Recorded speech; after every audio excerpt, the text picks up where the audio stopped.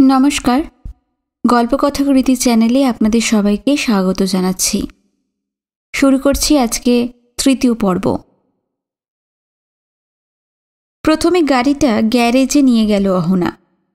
গ্যারেজের ম্যানেজার সব শুনে নিজে থেকেই বিকল্প গাড়ির ব্যবস্থা করে দিলেন। সাত দিনের মধ্যে গাড়ি সারিয়ে দেওয়া হবে। ততদিন বিকল্প গাড়ির জন্য ভাড়া দিতে হবে না। গাড়ির ইন্স্যুরেন্সের কাগজ দিয়ে সই সাবুত করে মেয়েকে নিয়ে জ্যাকসন হাইটে চলে এলো অহনা। এই মধ্য দুপুরেও জায়গাটা জমজমাট। পার্কিংয়ের জায়গা পেতে কয়েকবারই চক্কর মারতে হলো। আগে একটা রাস্তায় দোকানগুলো ছিল, এখন পাশাপাশি তিনটে রাস্তার দুদিকে বাংলাদেশি, ভারতীয় আর পাকিস্তানি দোকান। একটা সিনেমা হলে বেশিরভাগ সময় হিন্দি ছবি চলে, বাংলা মাঝে মাঝে। আজও অহনার মনে হলো বাংলাদেশিরা ঝেঁটিয়ে চলে এসেছে কেনাকাটা করতে। গাড়ি থেকে নেমে ত্রিনা বলল, মা, খিদে পেয়েছে।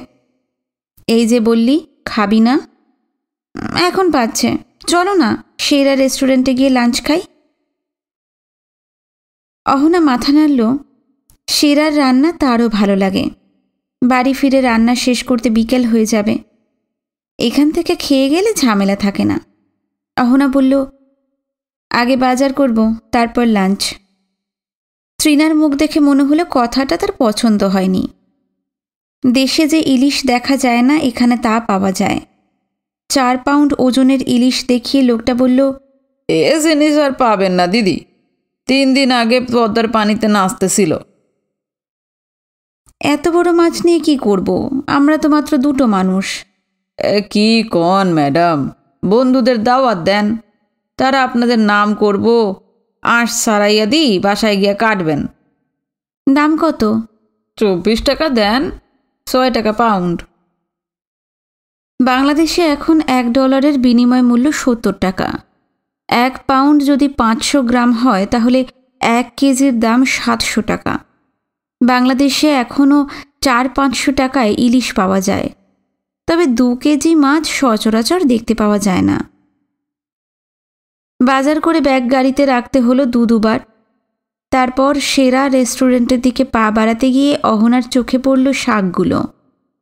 ফুটপাথে কাঠের বাক্সের ওপর শাকের দোকান সাজিয়েছে যে লোকটা সে নির্ঘাত চট্টগ্রামের। অনেকদিন পরে লাল শাক দেখে ইচ্ছে হলো এক পাউন্ড কেনার। পাউন্ড কত? খুব সস্তা ম্যাডাম। এমন লাল শাক আমেরিকায় পাবেন না। কত দেব? আগে দামটা বলুন। ছয় টাকা। কি? বারো ডলার কেজি? ইলিশের সমান দাম? আপনি কি পাগল? এইটুকুই আছে।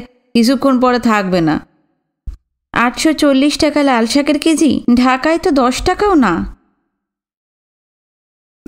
ঠিক কথা। তবে দশ টাকার সঙ্গে বিমানের ভাড়াটা যোগ করেন। বাংলাদেশ দশ টাকা, এখানে বারো টাকা, মাত্র দু টাকা বেশি। সোজা অঙ্ক। লোকটা আর একজন খদ্দেরের দিকে তাকিয়ে কথাটা বলল। অহনা ত্রিনাকে নিয়ে হাঁটতে লাগল। ওটা কি শাক, মা? লাল শাক। নিলে না কেন? আরে, লোকটা প্রচণ্ড দাম চাইছে। কোথায়? মাত্র সিক্স ডলার বলল। ওটা আগে রোজগার করো, তারপরে কথা বলবে। আচ্ছা মা, তোমরা ডলারকে টাকা বলো কেন? আমরা বাঙালিরা ডলারকে টাকা হিসেবে ভাবতে খুব পছন্দ করি। বাংলাদেশের সত্তর টাকা মানে আমেরিকায় এক ডলার। ডলার না বলে টাকা বললে বোধহয় ফারাকটা বেশি মনে হয় না। ত্রিনা ব্যাখ্যাটায় যে সন্তুষ্ট হলো না, তা তার মুখের অভিব্যক্তিতে স্পষ্ট। সে জিজ্ঞাসা করল, তুমি সবসময় কেন বলো আমরা বাঙালি? তো কি বলব? আমরা তো আমেরিকান সিটিজেন। পাসপোর্টে তো তাই লেখা আছে। পাসপোর্টে যাই থাকুক। বাংলা ভাষায় কথা বলি তাই বাঙালি। না, তাহলে তোমার বলা উচিত আমরা বাংলাদেশি। মানে? কাল ড্যাডি আমাকে বলেছে, বাংলাদেশিদের ল্যাঙ্গুয়েজ বাংলা। এটা নাকি সারা পৃথিবী রিকগনাইজ করেছে। একুশে ফেব্রুয়ারিতে নাকি কয়েকজন বাংলাদেশি শহীদ হয়েছিল, তাই ওই দিন ইন্টারন্যাশনাল ল্যাঙ্গুয়েজ ডে হয়েছে। বাবার বলা কথাগুলো উগড়ে দিল ত্রিনা অহনা রেস্টুরেন্টে ঢুকলো, মেজাজটা খিঁচড়ে গিয়েছিল। ওর বাবা অর্ধসত্য কেন বোঝাবে মেয়েকে? একটা সুন্দরী মেয়ে এগিয়ে এলো। আসেন আপা, এই টেবিলে বসেন। দেওয়াল ঘেঁষা একটা টেবিল দেখিয়ে দিল সে। রেস্টুরেন্টে অভিজাত, পরিচ্ছন্ন। কিচেন থেকে খাবারের গন্ধ ভেসে আসছে না। খুব নিচু ভলিউমে শ্রীকান্তর গান বাজছে। চেয়ারে বসার পর খাবারের অর্ডার দিয়ে অহনা মেয়েকে জিজ্ঞাসা করল বাংলাদেশের জাতীয় সংগীত কি? আমি জানি। কার লেখা? আর এন টেগর? ওহ, ওর নাম রবীন্দ্রনাথ ঠাকুর। উনি না জন্মালে আমরা এখন মধ্যযুগে থাকতাম। ওর বাড়ি কোথায় ছিল জানো? কলকাতায়। উনি তাহলে বাংলাদেশি নন। বাংলা ভাষায় কথা বলে বাংলার মানুষ। সেই বাংলা ভাগ হয়েছিল পূর্ব পাকিস্তান আর পশ্চিমবঙ্গ। একাত্তরের স্বাধীনতার পর পূর্ব পাকিস্তানের নাম হলো বাংলাদেশ আর পশ্চিমবঙ্গ ওই নামেই থেকে গেল। কিন্তু বাংলা ভাষা দু দেশের মানুষের ভাষা হয়ে থাকল। বুঝেছ? মাথায় কিছু ঢুকেছে? ত্রিনা গম্ভীর হয়ে অন্যদিকে তাকালো। আহনা বুঝতে পারল সে বৃথাই বাক্য ব্যয় করল। এটা কি করে হচ্ছে? তার মেয়ে এরকম অকাট কেন হবে? এখন কেমন আছেন? চমকে মুখ তুলল অহনা। ত্রিনার ওপর তৈরি বিরক্তিটা চট করে ঝেড়ে ফেলতে না পারায় কথা বলতে পারল না। আমি অর্জুন দত্ত, আপনি বোধহয় চিনতে পারেননি। ও, না না, আম সরি হ্যাঁ এখন ভালো আছি। এটি আমার মেয়ে ত্রিনা আচ্ছা আচ্ছা। তুমি কেমন আছো, ইয়াং লেডি? কাঁধ ঝাঁকালো ত্রিনা যার মানে ঠিক আছি। অহনা চাপা স্বরে বলল উনি তোমাকে যা জিজ্ঞাসা করছেন তা জবাব মুখে দেওয়াই উচিত। আহা এখন সারা পৃথিবীর ছেলেমেয়েরা বডি ল্যাঙ্গুয়েজে কথা বলতে পছন্দ করে। আমি আপনাদের বিরক্ত করছি না তো? না না আপত্তি না থাকলে আমাদের সঙ্গে বসতে পারেন। বাহ তাহলে আজ আর এক কথা বলতে হবে না। মানে? সেই সুন্দরী এসে দাঁড়িয়েছিল টেবিলের পাশে। অর্জুন তার দিকে তাকিয়ে বললেন আপনাদের এখানে আমি কি শর্তে লাঞ্চ করতে আসি? সুন্দরী হাসল। সাহেবের শর্ত হলো ওই লাঞ্চের সময় আমাদের কাউকে ওর সঙ্গে বসে গল্প করতে হবে। উনি একা চুপচাপ খাবেন না। বুঝতেই পারছেন মাঝে মাঝে একই কথা বলতে হয়। এখানে যারা আছে তাদের বাড়ির সব খবর আমি জানি। সুন্দরী বলল স্যার আজকে কি মৌরলা দেব? হ্যাঁ শুধু ডাল, আলু ভর্তা আর মৌরলার ঝাল। অর্জুন এবার ত্রিনাকে জিজ্ঞাসা করল, তুমি মৌরলা পছন্দ করো? আমি আমি জানি না ওয়াজ দ্যাট মুরগির মতো কিছু নাকি? সর্বনাশ! ওর দোষ নেই। মৌরলার নাম কখনো শোনেনি, তাই মুরগির কথা মনে পড়েছে। ওয়েল ট্রিনা এটা এক ধরনের একটা মাছ। খুব নরম কাঁটা কাঁটা সমেতই খেতে হয়। এর টেস্ট মুরগির চেয়ে অনেক বেশি। ও আমি কখনো খাইনি। দেশে যাওনি কখনো? একবার গিয়েছিলাম ছোটবেলায় খুব গরম। ও কোথায় বাড়ি আপনার? ঢাকায় আপনার? কলকাতায়। অহনা মেয়ের দিকে তাকালো উনি কলকাতার মানুষ কলকাতা পশ্চিমবঙ্গে বাংলাদেশে নয়। আর দেখেছ? উনি বাংলায় কথা বলছেন। হুম, বুঝতে পেরেছ? ট্রিনা মাথা নাড়ল। অর্জুন অবাক হলেন। কি ব্যাপার? ট্রিনা আপত্তি করল, না, বলবে না, আমি তো বুঝেছি। খাবার এসে গেল। অহনা বুঝতে পারল দুজনের জন্য যা বলে ফেলেছে, তাতে তিনজনের দিব্যি হয়ে যাবে। সে অর্জুনকে বলল, আপনি যদি শেয়ার করেন তাহলে ভালো হয়। সরি আমি খাওয়াটাকে উপভোগ করতে চাই। যদি বেশি হয়েছে বলে মনে করেন, ওদের বললে প্যাক করে দেবে ওরা।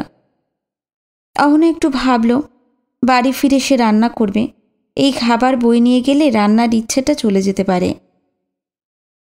চুপচাপ খেয়ে নিচ্ছিল অহনা অর্ধেক খাওয়ার পরেই তৃণা মুখ এগিয়ে আনলো। আমি একটা শেক খাব। আগে যা সামনে আছে তা শেষ করো। আমার পেট ভরে গেছে। পেট ভরে গেলে শেক খাবে কি করে? হুম? আশ্চর্য। তুমি খিদে পেয়েছে বলে এখানে এলে। খেতে বসে ইচ্ছেটা চলে গেল। এত উইমসিক্যাল হলে চলবে? অহনা বেশ বিরক্ত হলো। অর্জুন শুনছিলেন কিন্তু কিছু বললেন না। খাওয়া শেষ হলে অহনা সুন্দরীকে ডেকে একটা আনারসের শেক দিতে বলল ইচ্ছার বিরুদ্ধেই। অর্জুন মাথা নাড়লেন। একটা নয় তিনটে। আমি খাব না। অহনা মাথা নাড়ল। ও তাহলে দুটো দাও। মহিলা চলে গেলে অর্জুন বললেন আপনার বন্ধু মিস্টার লিটনের কাছ থেকে একটা ফোন আশা করেছিলাম। তা সমস্যার কি সমাধান হয়েছে? কি সমস্যা? আপনি গাড়ির কোম্পানিকে কাঠগড়ায় দাঁড় করাচ্ছেন কি না? সেই সমস্যা। ও না না আমি ক্ষতিপূরণ চাইছি না। কিন্তু সেটা পাওয়ার সুযোগ ছিল। জানি না কিন্তু কাজটা অনৈতিক হতো। অনেক মিথ্যে কথা বলতে হতো। তাছাড়া সত্যি তো আমি দুর্ঘটনার সময় বেল্ট পরেছিলাম না। মুখ ফিরিয়ে কিছুক্ষণ তাকিয়ে থেকে অর্জুন বললেন, ধন্যবাদ। মানে? এখন কাউকে এরকম কথা বলতে শুনি না। দুটো মাঝারি গ্লাসে পাইনঅ্যাপেল শেক এলে ত্রিনার মুখে হাসি ফুটল। সঙ্গে সঙ্গেই নিজের গ্লাসে চুমুক দিল সে। অর্জুন তাকে বলল, তোমার খুব ভালো লাগে? ট্রিনা মাথা নেড়ে হ্যাঁ বলল। আমারও। এখানে এলেই এটা খেতে ইচ্ছে করে। ভয়ে খাই না। কেন? ভয়ে মোটা হওয়ার একটু ইচ্ছে নেই। আজ তোমার আবদারেই খাচ্ছি। থ্যাঙ্কস। বিল এলো অহনা হাত বাড়াচ্ছিল। অর্জুন আপত্তি করলেন। আপনি ওটা পে করতে চাইছেন? অবশ্যই। আমি যদি আপত্তি করি? তাহলে বলব এই টেবিলে এসে বসলেন কেন? সঙ্গে সঙ্গে ত্রিনা বলে উঠল টেক ইট ইজি আঙ্কেল। কেউ একজন দিয়ে দিলেই তো হলো। ওয়েল। ত্রিনার দিকে তাকিয়ে বললেন অর্জুন। পেমেন্ট করে দিয়ে বাইরে এসে অহনা বলল মেয়েরা পে করতে চাইলে পুরুষদের ইগোতে লাগে কেন বলুন তো? আমার লেগেছে বলে মনে হচ্ছে। আপনি আপত্তি জানাতে চাইছিলেন। চাইনি জিজ্ঞাসা করেছি। ভালোই তো আপনি আমাকে লাঞ্চে খাওয়ালেন। গাড়ির ক্ষতিটা আর তেমন মনে লাগছে না। শ্রীনাথ দিকে ঘুরে দাঁড়ালেন অর্জুন। ইয়েস ইয়াং লেডি তুমি কি চাও? আমাদের আবার দেখা হোক। শিওর ত্রিনা হাসল। হাত বাড়িয়ে ত্রিনার সঙ্গে হাত মিলিয়ে অর্জুন বললেন আমাকে এক্ষুনি ছুটতে হবে। একদম ভুলে গিয়েছিলাম মেয়েটিকে নিয়ে আসার কথা। মেয়েটি? অহনা অন্য মনস্কভাবে বলল এখন বলতে গেলে দেরি হয়ে যাবে। ইচ্ছে হলে রাত আটটার পরে ফোন করবেন। বলব। পকেট থেকে পার্স বের করে একটা কার্ড তুলতে গিয়েই মনে পড়ে যাওয়ায় বললেন আপনার কাছে তো আমার কার্ড আছে। আচ্ছা চলি। বড় বড় পা ফেলে ফুটপাথের ভিড়ে মিলিয়ে গেলেন অর্জুন। অহনার মনে হলো, ভদ্রলোক যেন আচমকা তড়িঘড়ি করে বিদায় নিলেন। লাঞ্চের দাম ওকে দিতে দেওয়া হয়নি বলে কি ক্ষুণ্ণ হয়েছেন? বলে কিছু করার নেই। পুরুষরা চিরকাল কর্তৃত্ব করবে, এটা মেনে নেওয়া যায় না। তাতে যদি কারোর ইগোতে আঘাত লাগে, তাহলে সেটা তার সমস্যা। রাত আটটা নাগাদ স্নান করতে গেল অহনা। প্রায় গোটা সপ্তাহের রান্না শেষ করে ফেলেছে সে। শুধু ভাতটা বাদে। ওটা খাওয়ার আগে গরম গরম না বানালে ভালো লাগে না। সেই যে ত্রিনা ঘরে ঢুকে দরজা বন্ধ করেছে, আর তার দেখা নেই। বাথরুমের শাওয়ার কার্টেন টেনে স্নান করতে করতে মনে হলো ফোন বাজছে। এই অবস্থায় বেরিয়ে ফোন ধরা যায় না। ওটা এখন বেজে যাবে। ত্রিনার কানে ওই শব্দ কিছুতেই ঢুকবে না। শুধু ত্রিনা কেন? ওদের বয়সী ছেলে মেয়েদের অনেকেই বড় হচ্ছে একই ধারায়।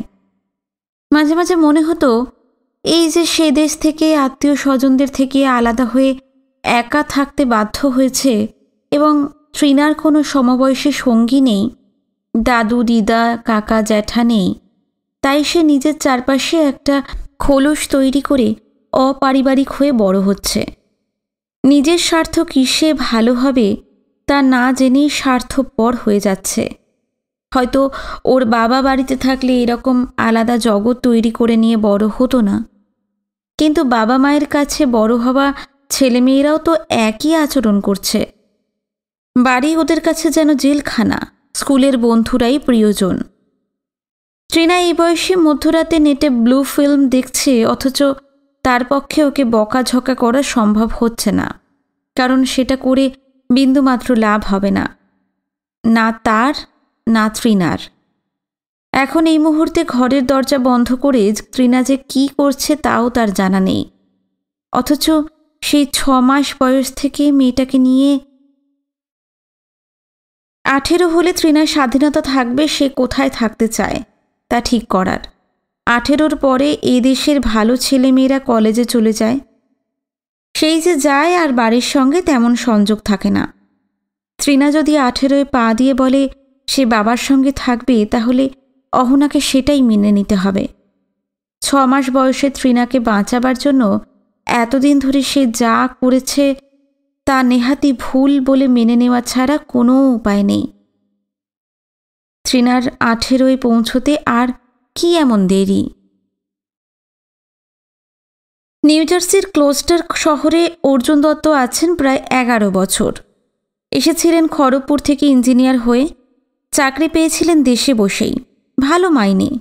সকাল সাতটায় বেরিয়ে সন্ধে সাতটায় বাড়ি ফেরা। প্রথমে উঠেছিলেন এক বন্ধুর দাদার বাড়িতে, তারপর ব্রুকলিনের এক কামরার ফ্ল্যাটে। সেখান থেকে নিউ জার্সির এই বাড়িতে। বাড়িওয়ালি মহিলাটি বলেছিলেন তুমি একা যুবক? তবু তোমাকে আমার এই বাড়িটা ভাড়া দিচ্ছি দুটো শর্তে। এক, এই বাড়িটাকে নিজের বাড়ি মনে করে যত্ন নেবে। দুই, তোমার প্রেমিকা ছাড়া অন্য কোনো মেয়েকে বাড়িতে আনবে না। সেই সঙ্গে শুক্রবার বা শনিবারে এমন কোনো পার্টি দেবে না যার আওয়াজ শুনে প্রতিবেশীরা বিরক্ত হবে। অর্জুন কথা দিয়েছিলেন, ওপরে দুটো বেডরুম, নিচে হলঘর, বসার ঘর ছাড়া কিচেন টয়লেট আছে।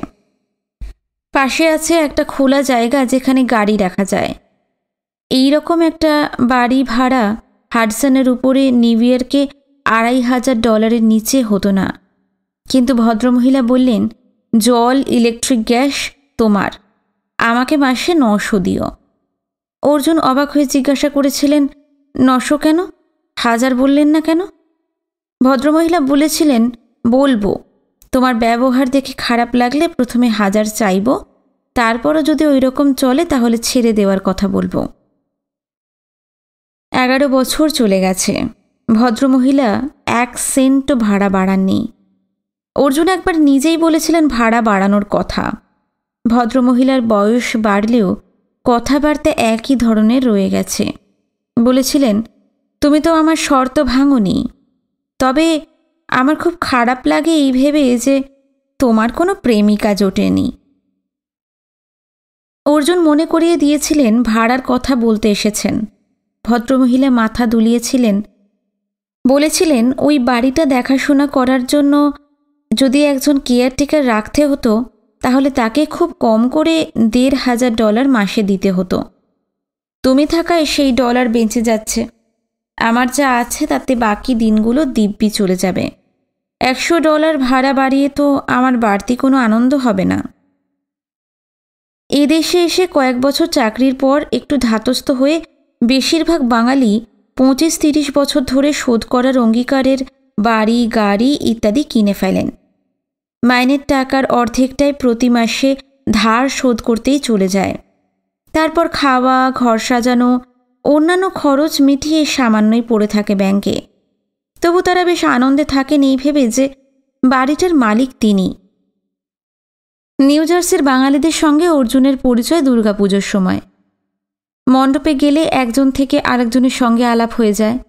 অর্জুনের অফিসের সহকর্মী মৃণাল বসু তাকে নিয়ে গিয়েছিল ওখানে। বিশ্বনাথ গুপ্ত বললেছিলেন, আরে দূরমশাই, আপনি একজন বাঙালি। ক্লোস্টারে থাকছেন আট মাস আর আমরা কিছুই জানি না। আজ আপনার সঙ্গে সবার আলাপ হয়ে গেলে দেখবেন, শুক্র এবং শনিবার সন্ধ্যায় আপনি আর বোর হচ্ছেন না। নেমন্তন্ন আর নেমন্তন্ন। প্রথম প্রথম সেই সব নেমন্তন্নে গিয়েছিলেন অর্জুন। তারপর যাওয়া বন্ধ করলেন। প্রতিটি বাড়িতে একই লোকজন, একই বিষয় নিয়ে কথাবার্তা, একই ধরনের খাওয়া, অথচ কেউ বিরক্ত হচ্ছেন না। কারোর একঘেয়েমি লাগছে না। ওই রকম এক পার্টিতে বিশ্বনাথ গুপ্ত বলেছিলেন সে কি হে? তুমি ভাড়া দিয়ে আছো কেন? কত ভাড়া দিচ্ছ? নশো। আরে প্রায় ওই টাকা মাসে ইএমআই দিলে তিরিশ বছর পরে নিজের বাড়ির মালিক হয়ে যাবে তুমি। চাও তো কাল আমি তোমাকে যোগাযোগ করে দিতে পারি। অর্জুন হেসে বলেছিলেন, কিন্তু দাদা, ছ মাস পরে যদি চাকরিটা চলে যায়? বিশ্বনাথ গুপ্ত বললেন, তোমার বিরুদ্ধে কোম্পানি যদি কোনো বিশেষ অভিযোগ করতে না পারে, তাহলে হে দেশে চাকরির অভাব হবে না। এরা তো বেশিরভাগই অশিক্ষিত। অর্জুন বলেছিলেন, তবু মাথার ওপর একটা সাদাকে বসিয়ে রাখে। তাছাড়া তিরিশ বছর ধরে ধার শোধ করার কোনো বাসনা আমার নেই। নেই, তুমি বিয়ে করবে না, সংসার, ওই নিয়ে কিছু ভাবিনি। কিন্তু ধার নিয়ে আনন্দে থাকা আমার পক্ষে সম্ভব নয়। ওই এক ঘরের ফ্ল্যাটেই থাকতে চাও সারা জীবন? এক নয়, বাড়িটা দোতলা। এবং সব কটা ঘর আমার কাজেও আসে না। সে কি? কটা ঘর? তিনটে প্লাস একটা বড় হল। My god! তুমি নশো টাকায় কি করে পেলে? ভাবা যায় না। ঠিক আছে, সামনের মাসে এক শুক্রবারে তোমার বাড়িতেই পার্টি দাও। হাউস ওয়ার্মিং বলে তো একটা কথা আছে। খাওয়া দাওয়ার ব্যাপারে চিন্তা করো না। তোমার বৌদি সব ব্যবস্থা করে দেবে। কাকে কাকে বলবে তা আমি তোমাকে বলে দেব। তখনই কিছু বলেননি, কিন্তু পরে অর্জুন এড়িয়ে গিয়েছিলেন। নিজেও যাওয়া বন্ধ করেছিলেন। নেমন্তন্ন পেলেই কাজের অজুহাত দেখাতেন।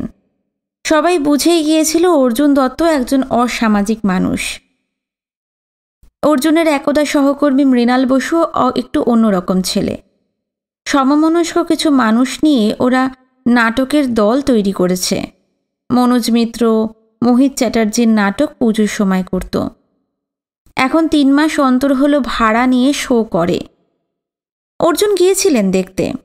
কলকাতায় গ্রুপ থিয়েটার করা ছেলে মৃণালের প্রোডাকশন বেশ ভালো। কিন্তু দর্শকের সংখ্যা পঁচিশ তিরিশের বেশি নয়। যেখানে বেশিরভাগ মানুষ সোম থেকে বৃহস্পতি অফিসের পর আর বাড়ি থেকে বের হয় না, পরের দিন অফিসে যেতে দেরি হয়ে যাওয়ার ভয়ে, সেখানে মৃণালরা সপ্তাহে তিন দিন রাত আটটা থেকে দশটা পর্যন্ত রিহার্সাল দেয়। শনিবারে বিকেল থেকে। ওদের এইসব কাজকর্ম দেখে বেশ বিরক্তই হয় গরিষ্ঠ বাঙালিরা। একজন তো বলেই ফেলেছিলেন, আমেরিকায় এসে যদি চটি পায়ে বাংলা নাটক করবি, তাহলে এলি কেন? দেশে থেকেই তো করতে পারতিস। আমেরিকা এসে পাতি বাঙালি হয়ে থাকার কি দরকার? অর্জুন আরও সরে গিয়েছিলেন। মৃণালকে জিজ্ঞাসা করেছিলেন, আপনারা এত কষ্ট করে অভিনয় করছেন, অথচ দর্শক হচ্ছে না। তার ফলে যা খরচ করছেন তা তো উঠছে না। এই রকম আর কতদিন করা সম্ভব? মৃণাল বলেছিলেন, যতদিন উৎসাহ থাকবে, ভালো লাগা থাকবে, ততদিন। যারা পুজোর সময় বেশি পয়সায় আমাদের নাটক দেখে হাততালি দেন, তারা পাঁচ ডলারের টিকিট কেটে হলে আসেন না। কারণ, সেটা তাদের কাছে দুশো পঁচিশ টাকা হয়ে যায়। অথচ দেশ থেকে যদি সিনেমা বা সিরিয়ালের বি গ্রেডের অভিনেতা, অভিনেত্রীদের দিয়ে বস্তা পচা নাটক কোনো রকমে খাড়া করিয়ে এখানে আনা যায়, তাহলে পঁচিশ পঞ্চাশ ডলারের টিকিট কিনতে এদের এক মুহূর্ত দেরি হয় না। আমরা ঘরকা মুরগি, তাই ডাল বরাবর। তাহলে আশায় আছি, আগে দশ পনেরো জন আসতো, এখন পঁচিশ তিরিশ হচ্ছে, যদি আরও বাড়ে। অর্জুন বলেছিল তুমি কলকাতায় গেলে না কেন? মৃণাল বলেছিল, ইঞ্জিনিয়ার হয়ে এই চাকরি না পেলে নিশ্চয়ই থেকে যেতাম। রেজাল্টটা ভালো হয়ে গেল। সঙ্গে সঙ্গে বাড়ির সবাই আমার দিকে যে আশা নিয়ে তাকালো, তা কলকাতায় চাকরি করে মেটানো সম্ভব ছিল না। এখানকার দুশো টাকা কলকাতায় পৌঁছালে ন হাজার টাকা হয়ে যায়। পাঁচ জায়গায় পাঠাতে হয় আমাকে। কলকাতায় সেটা কল্পনাও করতে পারতাম না। নিজের কথা ভাবছ না? নিশ্চয়ই। আমি মাইনে পেলেই ভাবি, যা পেলাম তা থেকে এক হাজার কমে গেছে। বাকিটায় ভালোভাবে থাকতে হবে। তাই আছি। আপনি তো সুতোপাকে আমাদের সঙ্গে অভিনয় করতে দেখেছেন। আমরা খুব শিগগিরই বিয়েও করছি। ওকে দেশে পাঁচশো ডলার পাঠাতে হয়। এটা পাঠিয়ে যাব আমরা। তারপরেও বাড়ি ভাড়া করে চমৎকার চলে যাবে। অর্জুন জিজ্ঞাসা করেছিল, বাড়ি কিনবে না? মৃণাল বলেছিল, না, টাকা জমিয়ে বছর কুড়ি পরে দেশে ফিরে যাব। মৃণালের যেন হঠাৎ খেয়াল হলো, বলল, আপনার প্ল্যান কি? অর্জুন হেসেছিলেন, ভাবছি ভেবে শেষ করতে পারিনি। বছরখানেক বাদে মৃণাল এক রাত্রে ফোন করল, খুব ব্যস্ত? অর্জুন বলল, না না বিন্দু মাত্র নয়। একটা ঘটনা ঘটেছে, আপনার সাহায্য চাই। কি ঘটনা? দেশের এক বন্ধুর ফোন পেয়েছিলাম কয়েকদিন আগে। ওর বোনের বিয়ে হয়েছিল অ্যাস্টোরিয়াতে থাকা বাঙালি ডাক্তারের সঙ্গে। বেশ ধুমধাম করে। বিয়ের পর বর ফিরে এসেছিল। কাগজপত্র জোগাড় করে ওরা এক বছর পরে বোনকে পাঠাতে পেরেছিল এই দেশে স্বামীর ঘর করতে। কেনেডি এয়ারপোর্টে নেমে মেয়েটি ফোনে পৌঁছ সংবাদ দিয়েছিল। তারপর থেকে ওরা মেয়েটির খবর পাচ্ছিল না, ফোনেও না, চিঠিতেও না। ডাক্তারের বাড়ির ফোন নাম্বারও নাকি বদলে গেছে। বন্ধু আমাকে অনুরোধ করেছিল খোঁজ নিতে।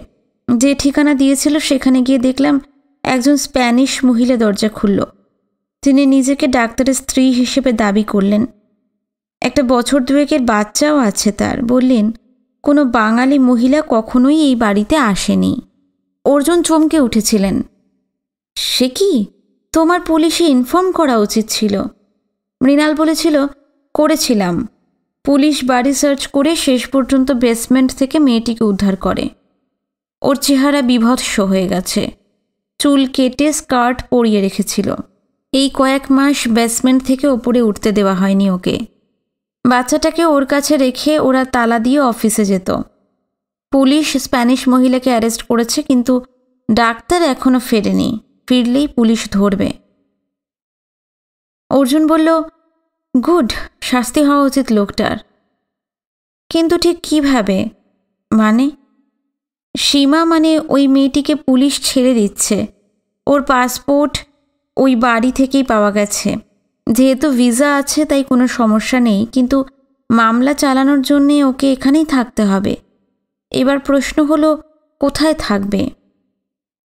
অর্জুন একটু ভাবলেন, তারপরে বললেন, ওর কোনো আত্মীয় নেই এখানে? না, ওর দাদাকে ফোন করেছিলাম। ওরা চাইছে ছাড়া পাওয়া মাত্র ও প্লেনে উঠে পড়ুক। চলে গেলে মামলা ঝুলে যাবে। তাছাড়া সীমাও যেতে চাইছে না। কেন? এই অবস্থায় দেশে ফিরে গেলে বাড়ির বোঝা হয়ে যাবে বলে ভাবছে। অর্জুন জিজ্ঞাসা করেছিল, তাহলে বিশ্বনাথবাবুকে বললে হয় না? বাঙালি সংগঠনগুলো থেকে যদি সাহায্য করে?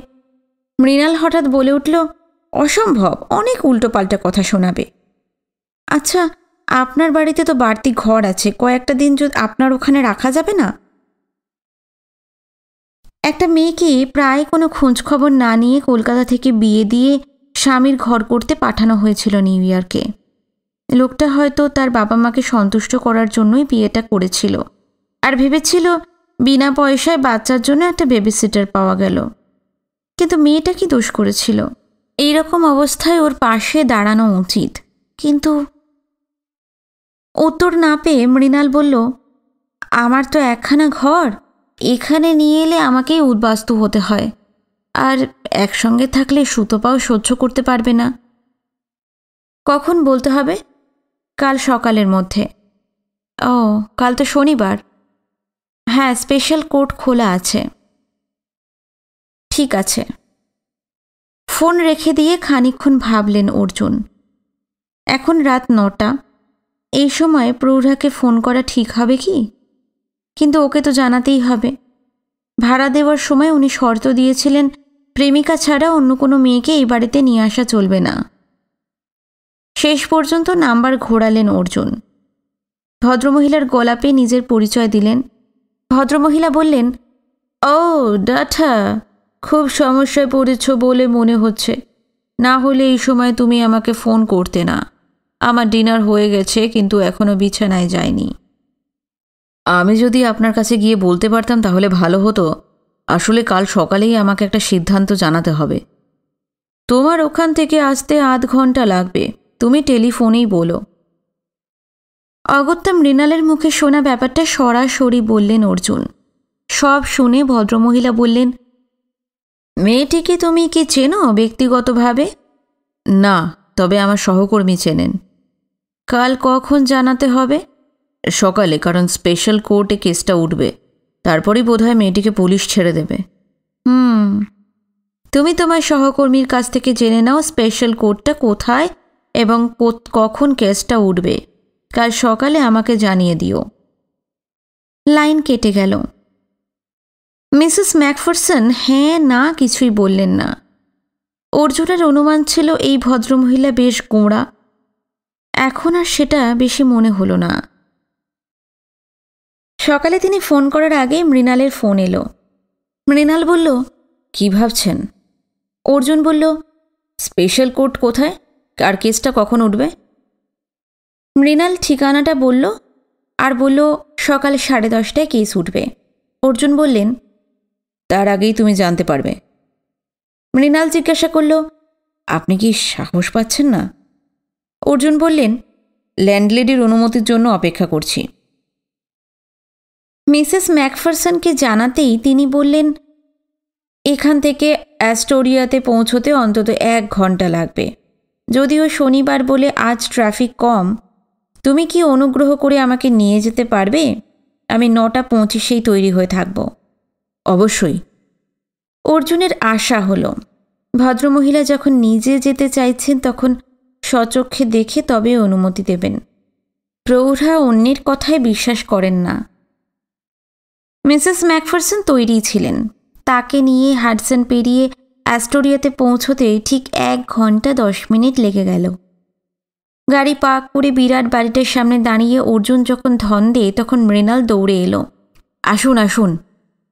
মৃণালের সঙ্গে মিসেস ম্যাকফারসনের পরিচয় করিয়ে দিতেই তিনি জিজ্ঞাসা করলেন, তুমি কি মেয়েটিকে চিনতে? শুনলাম তোমার বন্ধুর বোন। তাহলে তুমি নিজের কাছে ওকে রাখতে চাইছো না কেন? মৃণাল বলল, আমি ওয়ান রুম ফ্ল্যাটে থাকি তো, ও থাকলে অনেকেই ভুল বুঝবে। তাই বলো।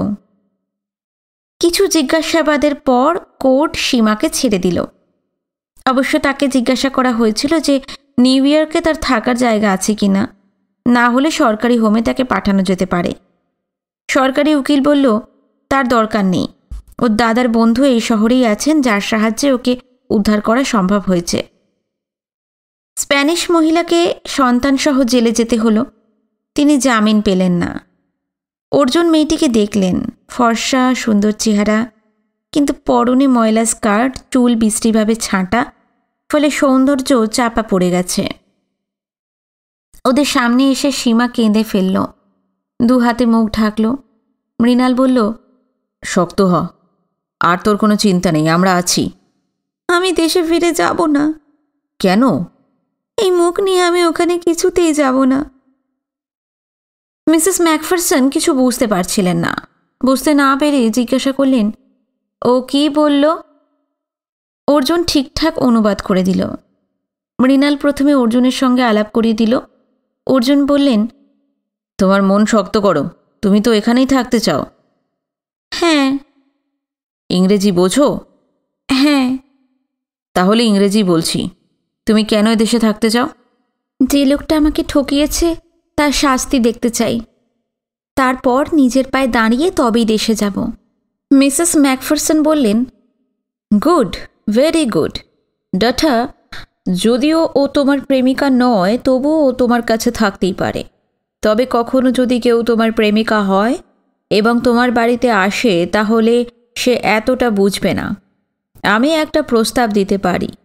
ওর মানসিকতা আমার পছন্দ হয়েছে। ও যদি আমার বাড়িতে একটা সমাধান না হওয়া পর্যন্ত থাকে, তাহলে তোমাদের কি আপত্তি আছে? অর্জুন কিছু বলার আগেই সীমার মুখে হাসি ফুটল। আমি কি বলে আমার কৃতজ্ঞতা আপনাকে জানাব?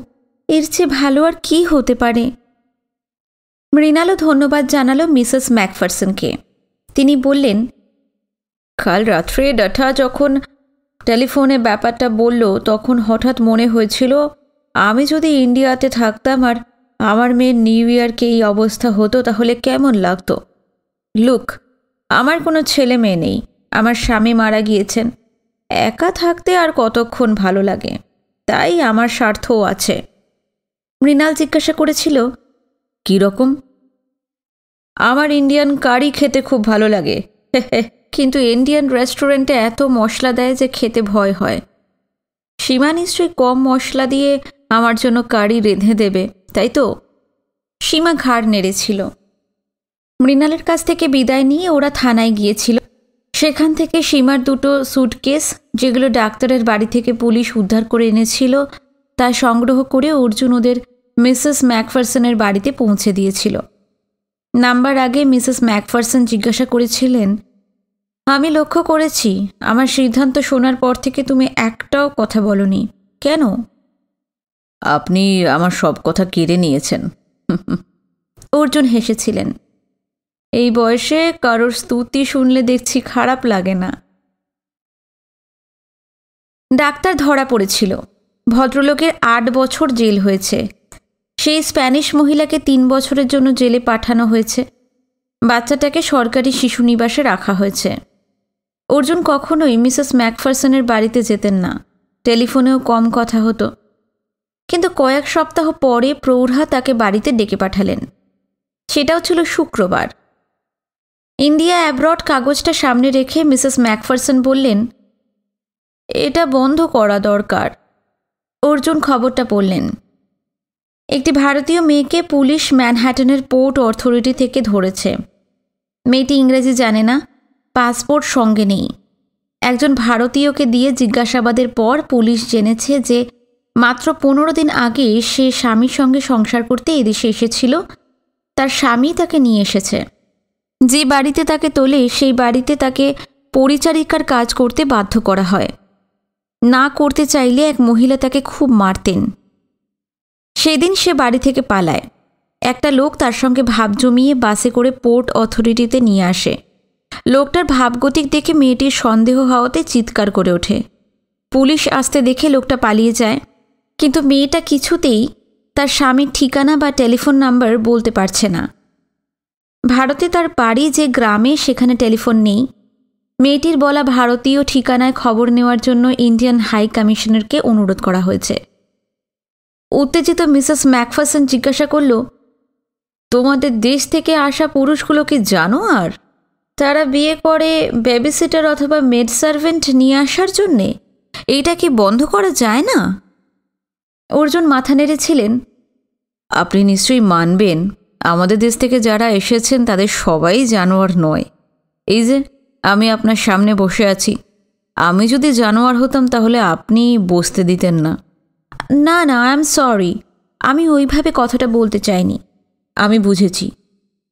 প্রচুর মেয়ে দেশ থেকে বিয়ের পর এখানে এসে সুন্দর, সুস্থ জীবনযাপন করছেন। নিউ জার্সির যে কোনো বাঙালিদের উৎসবে গেলেই আপনি তাদের দেখতে পাবেন। এইসব মহিলারা পড়াশোনা করে যে জায়গায় পৌঁছে যাচ্ছেন তা এদেশের অনেকেই পারেননি। কিন্তু ব্যতিক্রম তো আছেই। সব আমেরিকান মহিলার হৃদয় কি আপনার মতো? কিন্তু কে বিয়ের পর বউকে নিয়ে এসে অন্যায় করবে, তা তো আগে জানা যায় না। কেন? ছেলেটা সম্পর্কে খোঁজ না নিয়ে বিয়ে দেয় কেন? হাজার হাজার মাইল দূর থেকে কটা খবর নেওয়া সম্ভব হয়। আর খবর নিলেও যারা বাইরে থেকে দেখবে, তাদের পক্ষে ভেতরে ভেতরে কি হচ্ছে, তাকে জানা সম্ভব। কেউ হয়তো অফিসে ভদ্র, বন্ধুদের কাছে ভদ্র, কিন্তু বাড়িতে তার আর এক চেহারা। মিসেস ম্যাকফারসন বললেন, এই যে, সীমা, কি চমৎকার মেয়ে। বাড়িতে বসে নেই, এর মধ্যে সে ম্যাকডোনাল্ডে চাকরি পেয়ে গেছে। কাজে যাওয়ার আগে এবং ফিরে এসে বাড়ির সব কাজ নিজের হাতে করে। আমি বললেও শোনে না। আমার তো এরপরে হাতে পায়ে বাদ ধরে যাবে। দেশে ও এম এ পাশ করেছিল। ওর ইচ্ছে এখানে বিজনেস ম্যানেজমেন্ট পড়ার। আমি চেষ্টা করছি সামনের সেমিস্টারে ওকে ভর্তি করতে। বাহ! খুব ভালো লাগে অর্জুনের। মিসেস ম্যাকফাসন বললেন কিন্তু আমি একটা কথা ভাবছি ডাটা হ্যাঁ বলুন। আমরা যদি একটা সংস্থা তৈরি করি এইসব বিপদে পড়া মেয়েদের সাহায্য করার জন্যে রোগ হওয়ার উৎসটা যখন বন্ধ করা সম্ভব নয়, রোগটা সারাবার চেষ্টা তো করতে পারি। অর্জুন অবাক হয়ে গেলেন। না বলতে দ্বিধা হলো তার, বললেন চেষ্টা তো করাই যায়, কিন্তু অনেক কিছু ভেবে রাখা দরকার। হুম, ঠিক। তুমি ভাবো, আমিও ভাবছি। এই কাজে আমরা সীমাকেও পাব। কিছুদিন পরে ব্যাপারটা এইভাবে এগিয়ে গেল। সংস্থার নাম ঠিক হল ট্রানজিট, একটি অলাভজনক সেবা প্রতিষ্ঠান। আমেরিকায় এসে যেসব মেয়ে নিজেদের অজান্তেই বিপদে পড়েছে, এই সংস্থা তাদের সাহায্য করবে পুনর্বাসনের সেই মতো সরকারি অনুমতির জন্য আবেদন করা হলো। আপাতত মিসেস ম্যাকফারসনের বাড়ি সংস্থার ঠিকানা। মার্কিন পুলিশের সদর দপ্তরে জানিয়ে দেওয়া হলো, সংস্থার উদ্দেশ্য এবং এই ধরনের কেস এলে পুলিশ যেন সংস্থাকে খবর দেয়। অর্জুন বলেছিলেন, আপনি যদি দেখেন সংখ্যা বাড়ছে, তখন কি করবেন? মিসেস ম্যাকফারসন বললেন, সেই কথাই আমি তোমাকে বলব বলে ভাবছিলাম, কিন্তু তুমি কীভাবে নেবে বুঝতে পারছি না। বেশ তো, বলুন। তুমি যে বাড়িতে থাকো, সেখানে অন্তত আট দশটা মেয়ের থাকা সম্ভব। কিন্তু আমি কোথায় যাব? একজন মেয়ের সঙ্গে থাকলে সমস্যা হয়। সাত আটজনের গার্জেন হিসেবে থাকলে কি সেটা হবে? হবে। তাহলে আমাকে অন্য জায়গা খুঁজতে হয়। সীমা শুনছিল পাশে বসে। বলল আমি যদি সেখানে চলে যাই আর আপনি যদি আমার জায়গায় এসে থাকেন? সঙ্গে সঙ্গে হাত নাড়লেন প্রৌঢ়া মাই গড আমি কোনো পুরুষের সঙ্গে থাকতে পারব না। অর্জুন অবাক হয়ে বললেন এ কি বলছেন আপনি? আমি তো আমার আপনার ছেলের বয়সী। মিসেস ম্যাকফারসন বললেন তুমি আমার নাতির বয়সী হলেও রাজি হতাম না। মিস্টার ম্যাকফারসনের কাছে আমি প্রতিজ্ঞা করেছিলাম। কী রকম ব্যাপার? তখন আমার ষোলো বছর বয়স, সবে ওর প্রেমে পড়েছি। হঠাৎ ভিয়েতনাম যুদ্ধে যাওয়ার জন্য নাম লেখালেন। আমি তো অনেক কান্নাকাটি করলাম। শেষে উনি নাম কাটাতে চাইলেও সরকার শুনল না। যাওয়ার আগের দিন হাডসনের পাশে দাঁড়িয়ে দুজনেরই খেয়ে কি কান্না। বললেন তোমার ছবি পার্সে নিয়ে যাচ্ছি। যদি যুদ্ধে মারা যায়, নিশ্চয়ই খবর পাবে। কিন্তু তাই বলে সারা জীবন কুমারী থেকে নিজের জীবন নষ্ট করো না। চেঁচিয়ে কেঁদে বলেছিলাম, তুমি ছাড়া আর কোনো পুরুষের সঙ্গে আমি বাস করতে পারব না। তারপর তিনি ফিরে এলেন। আমাদের বিয়ে হলো। অনেক দিন একসঙ্গে থাকার পর ক্যান্সার ওকে কেড়ে নিয়ে গেল আমার কাছ থেকে। কিন্তু ওকে দেওয়া কথা আমি কি করে ভাঙি বলো তো? মিসেস ম্যাকফারসনের চোখ চিকচিক করে উঠল। রুমালে মুছে নিলেন তিনি। সরকারের কাছে আবেদন জানানো হলো সাহায্যের জন্য। মানবতার কথা ভেবে তারা এগিয়েছেন দুর্ভাগ্যে পড়া মেয়েদের সাহায্য করতে। জাতিসংঘের কাছেও আবেদন জানানো হলো। আর অফিসের পর এই কাজে প্রচুর সময় চলে যেত। অর্জুন একটু একঘেয়ে বোধ করতেন না। আজ দুপুরে মিসেস ম্যাকফারসন ফোন করেছিলেন। কেনেডি এয়ারপোর্টে একটি মেয়ে কলকাতা থেকে এসে সমস্যায় পড়েছে। মেয়েটিকে তার স্বামীর আনতে যাওয়ার কথা ছিল কিন্তু এয়ারপোর্টে কেউ যায়নি। পুলিশকে মেয়েটি যে ঠিকানা দিয়েছে সেখানে খোঁজ খবর করে ওই নামের কাউকে পাওয়া যায়নি। মিসেস ম্যাকফারসন বলেছিলেন ডাঠা তুমি কি মনে করো ওই মেয়েটিকে আমাদের সাহায্য করা উচিত? অর্জুন বলেছিল এখনও এই মেয়ে অত্যাচারিত নয়। তার স্বামী ঠিকঠাক জানতো কি না তাও বোঝা যাচ্ছে না। মেয়েটি যখন অ্যাডাল্ট তখন কোনো হোটেলে উঠে স্বামীর খোঁজ নিতে পারে। ভদ্রলোক কোন অফিসে চাকরি করে তা নিশ্চয়ই জানে। তাহলে আমরা ইন্টারেস্টেড হব না বলছো? আপনি কি বলেন? একবার মেয়েটির সঙ্গে কথা বলো। পুলিশ সাড়ে তিনটে সময় দিয়েছে। তুমি যদি যাও, তাহলে আমি ওদের ফোন করে দেব। এয়ারপোর্টের টার্মিনাল দুইয়ে গিয়ে খোঁজ নিও। অর্জুন ভেবেছিলেন লাঞ্চ সেরে যাবেন। মাঝখানে অহনাদের সঙ্গে দেখা হয়ে যাওয়ায় একটু দেরি হয়ে গেল। গাড়ি নিয়ে কেনেডি এয়ারপোর্টের দিকে যাওয়ার সময় অহনার কথা মাথায় ঘুরপাক খাচ্ছিল। অহনা একাই মেয়েকে মানুষ করছে, এ কথা বুঝতে তার অসুবিধা হচ্ছে না। মেয়েটি এদেশের ছেলে মেয়েদের মতোই, স্বাভাবিক। অহনার মধ্যে রবীন্দ্রনাথের কয়েকটি নারী চরিত্র এক হয়ে গিয়ে মিশে গেছে বলে তার ধারণা। ওর বন্ধু চেয়েছিল ক্ষতিপূরণ পেতে, কিন্তু অহনা মিথ্যে কথা বলে টাকা আদায় করতে চায়নি। এই ব্যাপারটা অর্জুনকে খুব খুশি করেছে। কিন্তু একটা বাঙালি মেয়ে তো খুব খুশি হয়ে এইভাবে যুদ্ধ করে বেঁচে থাকে না? তার পিছনের ইতিহাস নিশ্চয়ই খুব মর্মস্পর্শী। এই মেয়ে যখন ছোট, তখন নিশ্চয়ই নির্যাতিতা মেয়েদের সাহায্য করার জন্য কোনো সংস্থা এদেশে তৈরি হয়নি। অবশ্য অহনার মতো মেয়েরা তাদের সাহায্য ছাড়াই বেঁচে থাকে। কেনেডি এয়ারপোর্টে ঠিক জায়গাটা খুঁজে বের করা খুব মুশকিল। অনেক ঘোরাঘুরির পর বিশেষ সেলে যখন অর্জুন পৌঁছলেন তখন সাড়ে চারটে বেজে গেছে। মোটা সোটা ভালো মানুষ চেহারার অফিসারের নাম জন লেমন। অর্জুনের পরিচয় পেয়ে জন বললেন ওহ তুমি এসে গিয়েছো আমি বেঁচে গেলাম। তুমি কি ইন্ডিয়ান? হ্যাঁ ইন্ডিয়ান বেঙ্গলি। ওটা বলো না। তার মানে এরপর নিশ্চয়ই বলবে না তোমার মাতৃভাষা বাংলা। হ্যাঁ অফকোর্স তাই। মাই গড তুমি কবে ইন্ডিয়া সিটিজেনশিপ নিয়েছো? কখনোই নিইনি। আমার পূর্বপুরুষ জন্মেছেন ইন্ডিয়ায় আমিও জন্মেছি। তাহলে তুমি আমাকে মুশকিলে ফেললে। আচ্ছা ব্যাপারটা কি? আমি জানি বেঙ্গলিরা থাকে বাংলাদেশে তাদের মাতৃভাষা বাংলা। এই ভাষার জন্য তারা পাকিস্তানিদের বিরুদ্ধে লড়াই করেছে। তাহলে কি আমি ভুল জানি? অর্ধেকটা। বাংলাদেশ হওয়ার আগে ওই ভূখণ্ডের নাম ছিল পূর্ব পাকিস্তান। সেটা মাত্র চব্বিশ বছরের জন্য। তার আগে দেশটা ছিল ইন্ডিয়ার অংশ, নাম ছিল বেঙ্গল। দেশ যখন ভাগ হলো, ওয়েস্ট থেকে গেল ইন্ডিয়ায়, কিন্তু দুই অংশের লোক একই ভাষায় কথা বলে, লেখে, পড়ে। বুঝেছ? কিন্তু ওরাই ভাষার জন্য লড়াই করেছে। তোমরা তো করনি। আমাদের সেটা করার দরকার হয়নি। হয়তো। লোকটা মচকায় কিন্তু ভাঙে না। মেয়েটার নাম কি? জন একটা ফর্ম তুলে অর্জুনের সামনে এগিয়ে দিল। অর্জুন সেটা পড়ল। মেয়েটির নাম স্বপ্না রায়। বয়স বাইশ। বাড়ি বর্ধমান শহরে গ্র্যাজুয়েট। পাসপোর্ট নাম্বার এবং ভিসা নাম্বার লেখা আছে। স্বামীর নাম সলিল রায়। ঠিকানা যা মেয়েটি বলেছে, একশো তিন বাই দুইয়ের B church McDonald, Brooklyn, New York. পাশে মন্তব্য, এই ঠিকানায় সলিল রায় বলে কেউ এখন থাকে না। আচ্ছা ভদ্রমহিলা কোথায়? আমার সঙ্গে মিসেস কি যেন নামটা? হ্যাঁ মিসেস ম্যাকফারসন ট্রানজিট ওর সঙ্গে কথা হয়েছে। দয়া করে তুমি মেয়েটিকে নিয়ে গিয়ে আমাদেরকে উদ্ধার করো। হ্যাঁ ঠিক আছে। আমি আগে ওর সঙ্গে কথা বলতে চাই। স্বচ্ছন্দে এসো। ভেতরের ঘরের দিকে পা বাড়ালো জন। ভেতরের ঘরে একটা সোফায় যে মেয়েটি পা মুড়ে বসেছিল তার গায়ের রং ফর্সা নয় কিন্তু চকচকে উজ্জ্বল শ্যামবর্ণ বললেও কম হয়। এই রকম রং সাধারণত স্প্যানিশ মেয়েদেরই হয়। অর্জুন বললেন নমস্কার ভাই। আমার নাম অর্জুন দত্ত।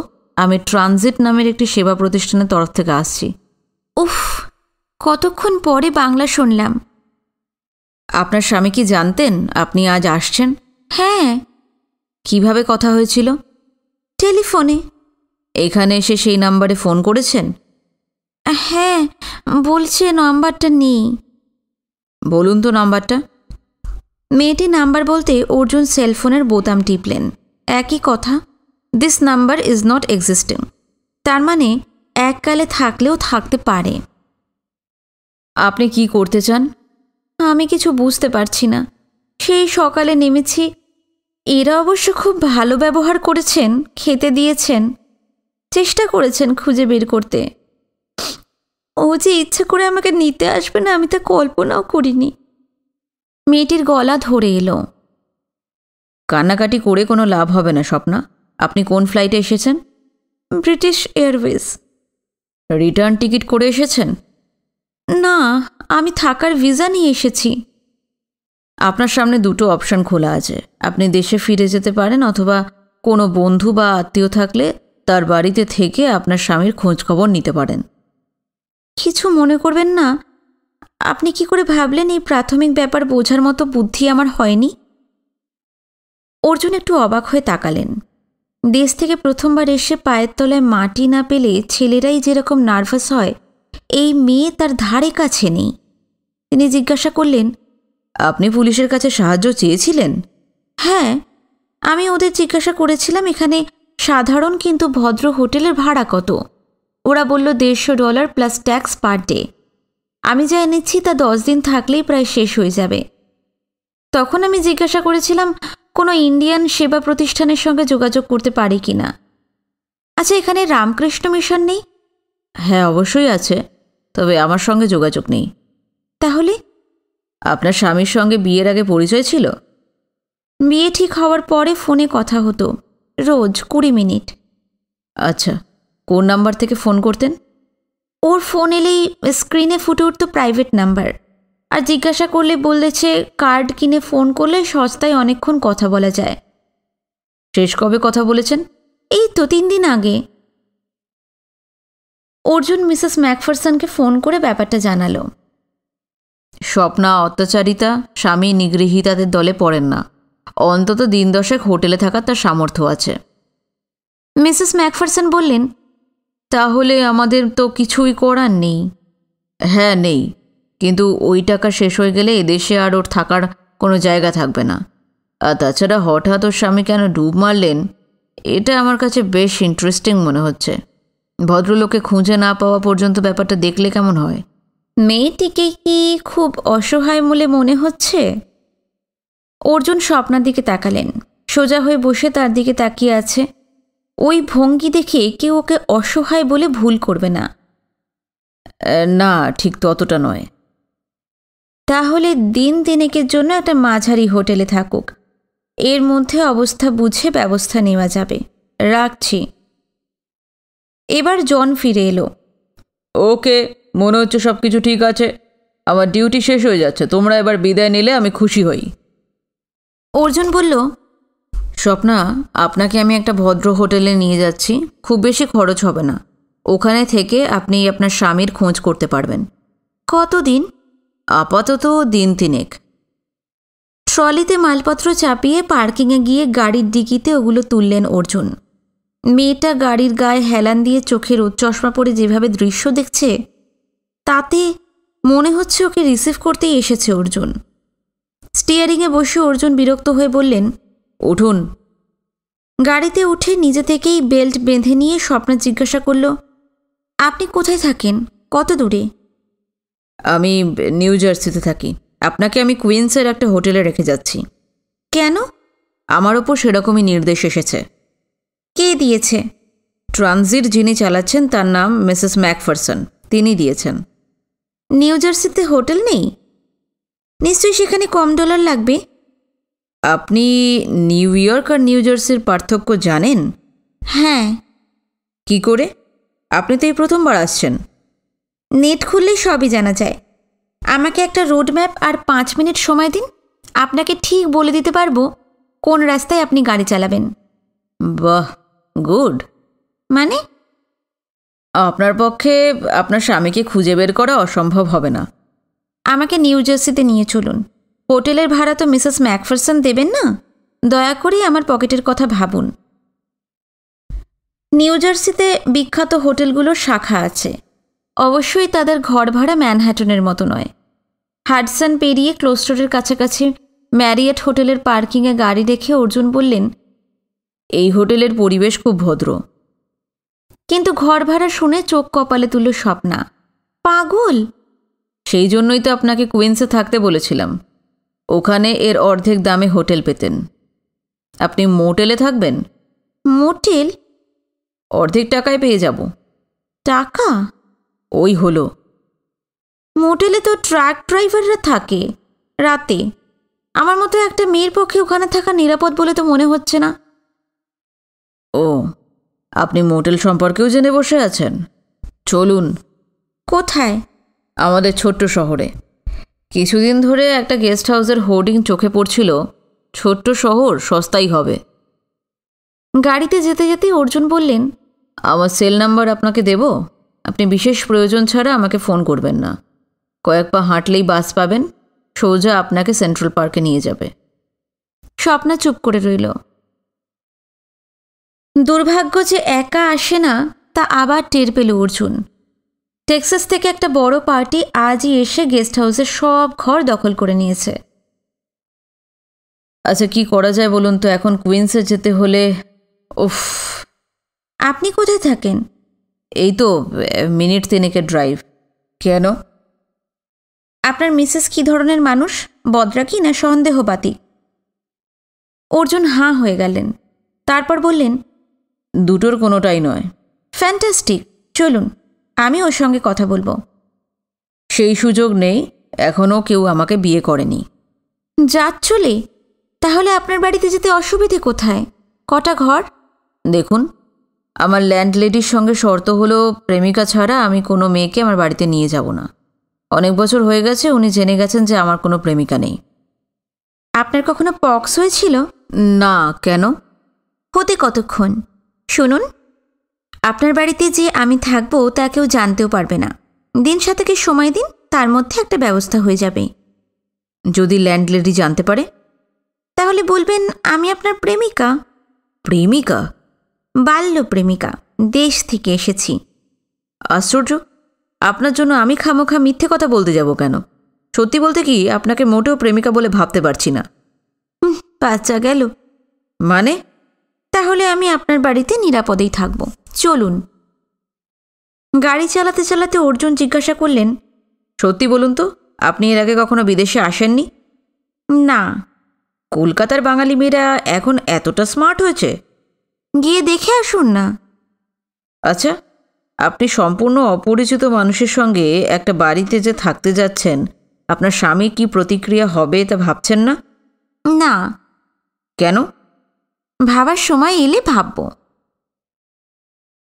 যেখানে গাড়ি পার্ক করে, তার পাশে একটা দরজা রয়েছে।